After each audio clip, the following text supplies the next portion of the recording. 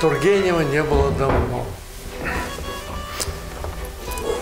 Он мне почему-то очень близок и напоминает, хотя я никогда не играл в Тургеневе. И он у нас редко когда появлялся. Но дело в том, что он очень близок к Чехову. А Чехов очень был близок к актерской братье. Ну, он, он актер хороший, режиссер я еще не знаю какой. Вот посмотрим. Как будет? Помогите ему, пожалуйста. Потому что не всегда все артисты, которые играют главные роли, потом говорят, что э, нет, я тоже хочу поставить это. Это очень трудная штука. И он пришел ко мне и сказал, я вот хочу поставить и предложил, значит, пьесу.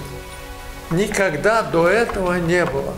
Я подумал, может, что-нибудь с ним произошло в жизни, почему-то он так как...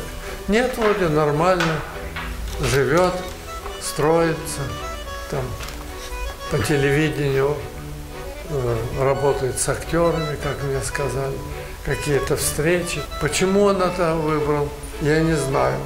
Хотя я ведь сразу сказал, да, пожалуйста, работай. Подумал, что он никогда ничего не просил все э, своим трудом добыл. Просто я доверяю человеку. А когда перестану доверять, мы соберемся, я все скажу, что я о нем думаю. А я сейчас думаю только хорошее. Всего хорошего, будьте здоровы, всем успехов. Будь говорить.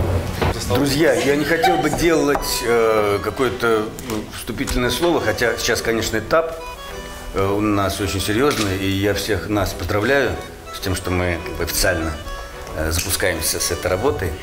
Но все знают, что мы делали эту работу самостоятельно. Мы начали в марте, начали работу в интернете, в Зуме, и, так сказать, застольный период у нас прошел там, я еще раз просто поздравляю всех нас. Спасибо руководству, что они поверили э, в нас и вот дали возможность нам работать.